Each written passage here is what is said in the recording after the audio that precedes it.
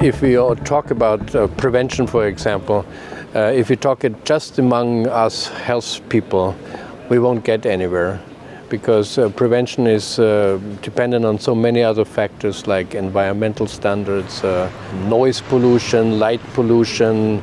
Prevention, for example, is uh, totally dependent on social cohesions. And all these matters are not matters for a classic Minister of Health or a health agency or Ministry of Health. So that's why we're talking about health in all politics, to exchange the views and, and to convince the others that they have to change also so that people can stay healthy. It's unfashionable to say we need facts, post facts, post truth politics. We need facts and we need evidence of both the causes and what you can do to address the causes. And one of the things I try and do, naively, is appeal to politicians' better instincts. And the question is, why did you come into politics? Most of them came into politics because they wanted to do something for the populations that they serve. If health equity is not improving, then what they came into politics to do isn't working.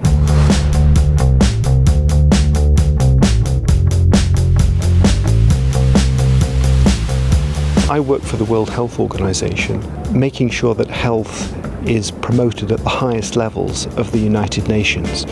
And so increasingly we see the dialogue about health taking place in New York with the Secretary General on matters that are of concern to the whole of society, not just from a health perspective alone. And that carries forward to presidents and prime ministers in governments, and not just the ministers of health in countries.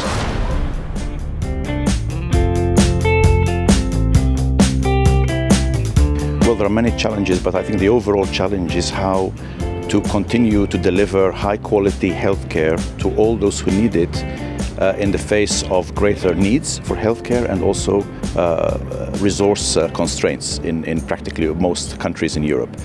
Uh, and therefore, um, that will be a challenge. It will require increased cooperation, but also increased uh, evidence to make sure that we can help member states take the right decisions in a timely manner. Our main role is to provide tools, mechanisms, and also to help member states network with each other. Uh, there's a lot they can learn from each other, but of course requires uh, a facilitator to help that make it happen. I think that some of the challenges that we face today will be solved because we will have you know solution-based health systems. We're not going to say, oh, you have this disease, you need that drug.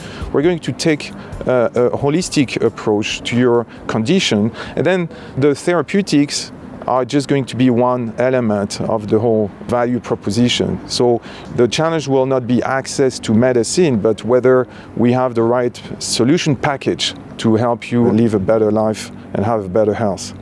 But we hope that healthcare systems can modernize and we can help them modernize in uh, improving the whole service package.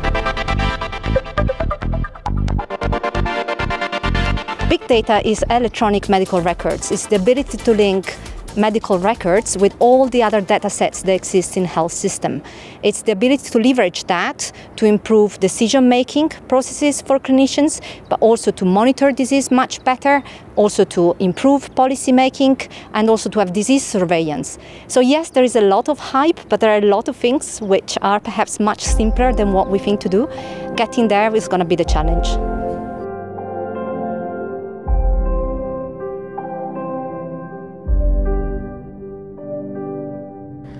Hopefully, after 20 years of talking, health in all politics becomes a reality in the future. And this is something that the citizens can feel in every aspect of their life.